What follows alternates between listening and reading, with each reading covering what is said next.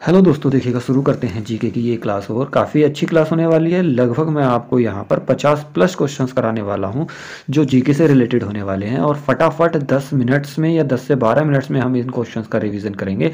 UPP की जो दोस्तों वैकेंसीज है यूपीपी का जो पेपर होने वाला है अट्ठारह फरवरी को, उसके रिगार्डिंग ये क्लास दोस्तों हम कर रहे हैं। अगर क्लास अच्छी लगे तो लाइक कीजिएगा। इसी तरीके की अगर आपको और भी रिविजन क्लास देखनी है तो आप चैनल से जुड़ सकते हैं। उसमें मैंने प्ले बना रखी है कॉन्स्टेबल दो के नाम से आप पूरी प्लेलिस्ट चेक कर सकते हैं। उसमें इससे रिलेटेड काफ़ी सारी इन्फॉर्मेशन आपको मिल जाएगी।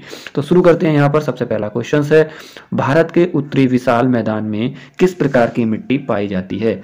ठीक है क्वेश्चन क्या है देखिएगा। फिर से मैं रिपीट कर रहा हूँ क्वेश्चन को। भारत के उत्तरी विशाल मैदान में किस प्रकार की मिट्टी पाई जाती है? तो सबसे पहले है दोस्तों, इसका जो आंसर है, वो है जलोड़ मिट्टी। क्या है जलोड़ मिट्टी? नेक्स्ट क्वेश्चन है। भाषा के आधार पर भारतीय राज्यों की पुनः संरचना किस वर्ष की गई थी भाषा के अकॉर्डिंग तो 1956 में की गई थी भाषा के आधार पर पुनः संरचना। सामाजिक वानिकी का मुख्य प्रयोजन क्या है? तो सामाजिक वानिकी का प्रमुख उद्देश्य होता है बड़े पैमाने पर वनोरोपण, यानी कि वनों को लगाना होता है वानिकी का। मृग तृष्णाएँ, यानी कि मृग तृष्णाएँ दिखाई देती हैं तो मृग तृष्णाएँ दिखाई देती हैं उष्ण कटिबंधीय रेगिस्तान में। किसमें? उष्ण कटिबंधीय रेगिस्तान में। नेक्स्ट क्वेश्चन है उत्तरी मैदानों में गंगा नदी निम्न में से होकर जाती है तो उत्तरी मैदानों में लखनऊ से होकर के जाती है आपकी गंगा, ठीक? नेक्स्ट क्वेश्चन होने वाला है, पीर पंजाल श्रेणी कहाँ स्थित है? तो पीर पंजाल श्रेणी जम्मू और कश्मीर में स्थित है। कहाँ पर स्थित है? जम्मू एंड कश्मीर में स्थित है पीर पंजाल। निम्नलिखित में से देश में कौन सा भारत का पड़ोसी देश नहीं है? तो यहाँ पर पड़ोसी देश नहीं है तो दोस्तों जापान, ठीक है? जापान पड़ोसी देश नहीं है। सलेम स्टील प्लांट कहाँ पर स्थित है? तो तमिलनाडु में स्थित है सलेम स्टील प्लांट।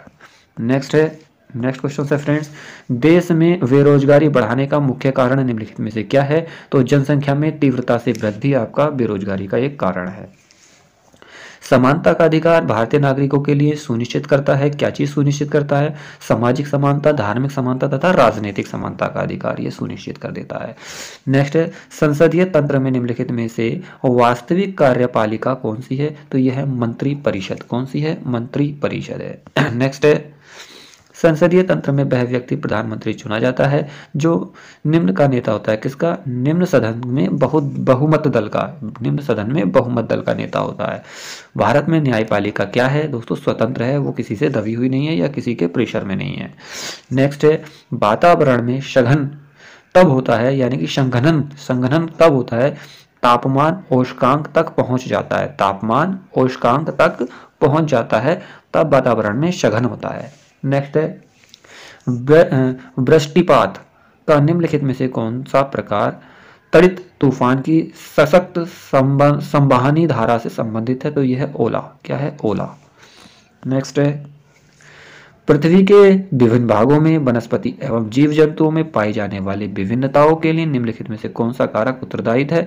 तो भौतिक पर्यावरण में परिवर्तन। भौतिक पर्यावरण में परिवर्तन होता है, इसलिए जीव जंतुओं में जो भिन्नताएँ पाई जाती है, ठीक है? ये भौतिक परिवर्तन के कारण होता है। नेक्स्ट है इम्परफेक्ट किसकी बायोग्राफी है? तो इम्परफेक्ट है आपके संजय मंजेरकर की। संजय मंजेरकर की बायोग्राफी है इम्परफेक्ट नेक्स्ट है गेम चेंजर किसकी बायोग्राफी है? तो शहीद अफरीदी की, शाहिद अफरीदी की एक यहाँ पर देखिएगा बायोग्राफी है गेम चेंजर नेक्स्ट क्वेश्चन है माई लाइफ माई मिशन क्या है? माई लाइफ माई मिशन की बायोग्राफी है। स्वामी रामदेव की बायोग्राफी है। My life my mission next है a century is not enough किसकी बायोग्राफी है? सौरभ गांगुली की। सौरभ गांगुली की कौन सी है? A century is not enough next है ए ऑटोबायोग्राफी एन ऑटोबायोग्राफी किसकी आत्मकथा है? जवाहरलाल नेहरू की आत्मकथा है। काफ़ी मोस्ट इंपोर्टेंट क्वेश्चन है। अनब्रेकेबल किसकी बायोग्राफी है? मैरी कॉम की बायोग्राफी है। अनब्रेकेबल नेक्स्ट है। अनफिनिश्ड किसकी बायोग्राफी है? अनफिनिश्ड यह है प्रियंका चोपड़ा की बायोग्राफी है। अनफिनिश्ड नेक्स्ट है। स्ट्रेंथ फ्रॉम द हार्ट दिल से, सीधे दिल से किसकी बायोग्राफी है? तो ये बायोग्राफी है कपिल देव की। किसकी है? कपिल देव की बायोग्राफी है। नेक्स्ट है। नो स्पाइन किसकी बायोग्राफी है? तो यह है सेन वार्न की। सेन वार्न की बायोग्राफी है। नेक्स्ट है दोस्तों, तस्मान सागर एवं दक्षिण सागर को कौन सी जल संधि तोड़ती है? तो जोड़ती है दोस्तों, क्या है यहाँ पर जोड़ती है? तो यह वोस जल संधि। कौन सी जल संधि है फ्रेंड्स वोस जल संधि ये जोड़ती है। नेक्स्ट क्वेश्चन से नहर का वह चैनल जहाँ पानी को उत्थान द्वारा भूमि की ढलान के विरुद्ध बहने हेतु बाध्य किया जाता है तो लिफ्ट चैनल कहलाता है। क्या कहलाता है वो? लिफ्ट चैनल कहलाता है। इलेक्ट्रॉन वोल्ट ऊर्जा की इकाई है, यानी कि इलेक्ट्रॉन वोल्ट किसका मात्रक है? ऊर्जा का। किसका मात्रक है दोस्तों? इलेक्ट्रॉन वोल्ट ईवी किसका मात्रक होता है? फिजिक्स में आता है ये ऊर्जा का मात्रक होता है। दिसंबर 2020 में गृह मंत्रालय ने सशस्त्र बल विशेष शक्तियाँ अधिनियम उन्नीस सौ अट्ठावन के तहत पूरे कौन से राज्य में? नागालैंड राज्य में को छह महीने के लिए अशांत क्षेत्र घोषित कर दिया था उन्नीस सौ अट्ठावन में। उन्नीस सौ अट्ठावन के तहत दिसंबर 2020 में नागालैंड को। नेक्स्ट है निम्न में से किसे, निम्न में से किसने दिसंबर 2020 में अपने उपन्यास the city and the sea, the city and the sea, की के लिए तीसरा रविंद्रनाथ टैगोर साहित्य पुरस्कार जीता? तो यह राजकमल झा ने किसने जीता? राजकमल झा ने निम्न में से कौन हिंदुस्तान रिपब्लिक एसोसिएशन के संस्थापक सदस्यों में से एक थे? राम प्रसाद विस्मिल। कौन थे? राम प्रसाद विस्मिल। नेक्स्ट है, निम्न में से कौन सी ऐसी प्रक्रिया है जिसमें गर्म, कम, सघन पदार्थ ऊपर की ओर उठते हैं तथा उन्हें ठंडे, अधिक सघन पदार्थों द्वारा प्रतिस्थापित कर दिया जाता है? तो वो कहलाता है कवक्षण या संवहन संवहन कहलाता है वो, ठीक है? नेक्स्ट क्वेश्चन है 2021 का पद्म विभूषण पुरस्कार विजेता कौन है? तो वह सुदर्शन साहू, कौन है? 2021 के पद्म विभूषण पुरस्कार विजेता सुदर्शन साहू। उन्नीस में भारत के प्रधानमंत्री मुरारजी देसाई की जगह किसने ली थी? चरण सिंह ने। चौधरी चरण सिंह ने ली थी उन्नीस में। इक्कीस बाईस के केंद्रीय बजट के अनुसार वायोलॉजी यानी कि विषाणु विज्ञान के कितने क्षेत्रीय राष्ट्रीय संस्थान स्थापित किए गए? तो चार दोस्तों वायोलॉजी के संस्थान यानी कि विषाणु विज्ञान स्थापित किए गए थे इक्कीस बाईस के बजट के अकॉर्डिंग जावा सागर एवं हिंद महासागर को कौन सी जल संधि जोड़ती है? सुडाला, सुंडाला जल संधि जोड़ती है आपको, जावा सागर एवं हिंद महासागर की जल संधि को। नेक्स्ट है, पूर्वी चीन सागर एवं प्रांत सागर, महासागर को कौन सी जल संधि जोड़ती है? टोकरा जल संधि कौन सी? टोकरा जल संधि जोड़ती है। नेक्स्ट है, आयरिस सागर एवं अटलांटिक महासागर को कौन सी जल संधि जोड़ती है? नॉर्थ चैनल जल संधि कौन सी? नॉर्थ चैनल जल संधि जोड़ती है।